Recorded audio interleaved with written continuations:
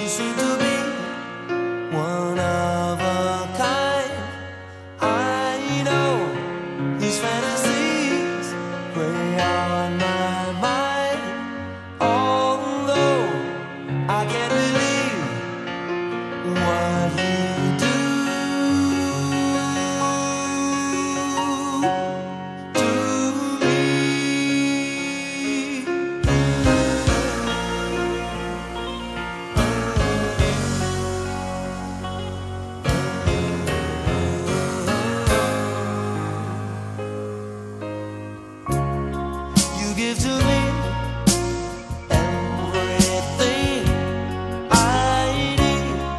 a precious gift that I